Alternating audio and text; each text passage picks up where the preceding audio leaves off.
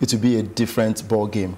It will be a different ball game because it is the, the Italian derby mm. and it has always been a tough match between these two yeah. teams. Uh, we predicted this match to end, in the first half of this match will have fewer goals. That is why we said it will end in over, under 1.5 half time because the last five games uh, between these two teams has, have ended in under 1.5 goals. Mm. And then also that brought us to the conclusion that most goals will be scored in the second half of this game. That is why we have the second HSH, second half highest scoring half mm. at 2.0.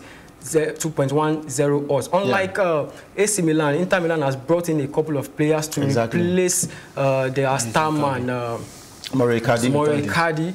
Uh, they brought in uh, a player from uh, from Sassuolo, mm. Stefano Sensi, who has scored two goals in the in the in the Italian Serie A, and he also mm. scored the equalizing goal against the Slavia Prague in the Champions mm. League. They, they, brought in Romelu Lukaku, they brought in Matteo Alexis Sanchez from Manchester United on loan, and they also, mm. they also brought in the defender Diego Godin from Atletico Madrid. I mm. think uh, Inter Milan will, will, will, put up a tough challenge against the AC Milan in this tie, and also they will also put up a tough challenge to the uh, to the domination of to the dominance of uh, Juventus. of Juventus and uh, Napoli in the top two of the Italian Serie A. Mm, well, interesting one, interest, interesting analysis uh, right there. You can see the game on your screen. First half under 1.5 means that uh, fewer goals will be scored, like he rightly said. It means that if they, if they get to score two goals in the first half, then uh, it's a red ticket for you. But it, it's looking likely to happen that the teams will not get to score two goals in the first half, and the odd is for 1.36. And total away team has to be uh, that's over over away over 0.5